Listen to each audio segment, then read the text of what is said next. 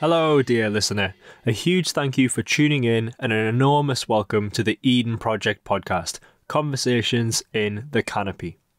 This is a podcast that aims to explore the history, the present, and the future of human nature connection.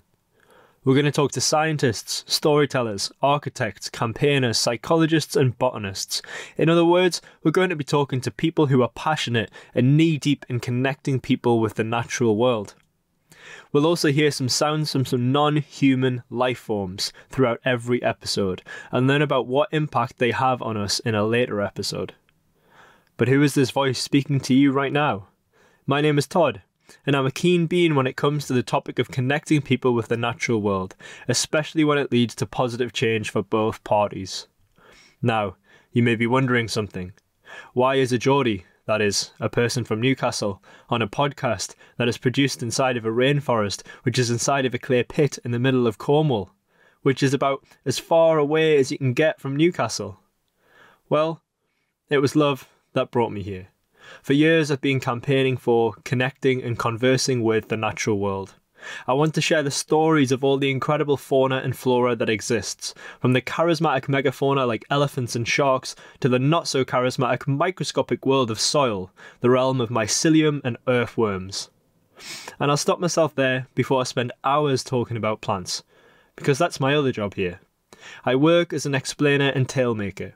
I have loads of fun giving walkabout tours around our gargantuan rainforest and connecting people with plants, climate change, and themselves. During one of these tours, someone asked me why they weren't digital. They wondered how people who may not be able to get to Cornwall would be able to engage with what Eden had to offer. Then another person asked a similar question, and the idea started to germinate in my mind.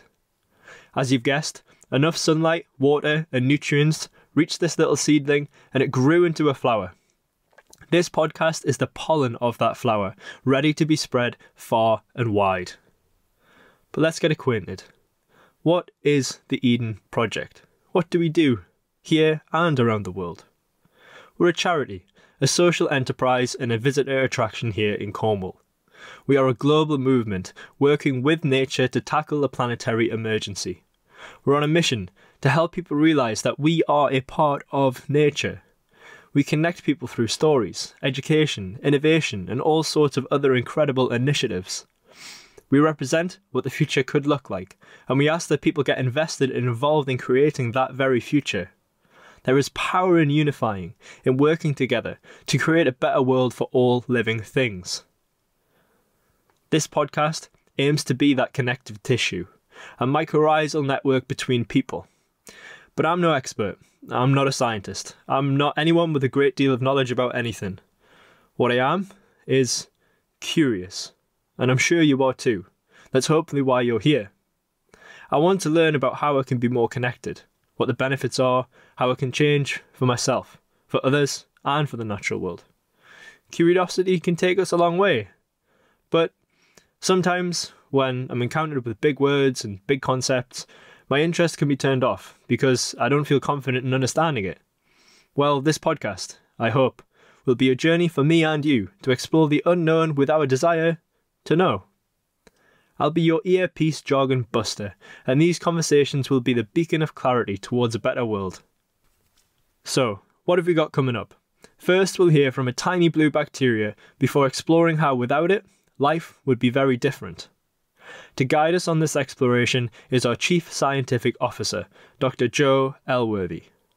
Following her up, in episode 2, we're going to London to hear from Dr. Georgina Gould on why a dose of nature, rather than pharmaceuticals, could be the first port of call for our mental health struggles. In episode 3, we're exploring the importance of natural soundscapes, the future of virtual soundscapes, and the extinction of experience with PhD fellow Alex Smalley. The list goes on. We've got plenty of captivating speakers and interesting topics for you to digest. And with all that excitement, I'll leave you to enjoy the present moment. You'll hear from me soon, and I look forward to sharing these incredible stories with you. For Conversations in the Canopy and for all the wonderful things on this planet, I've been Tod.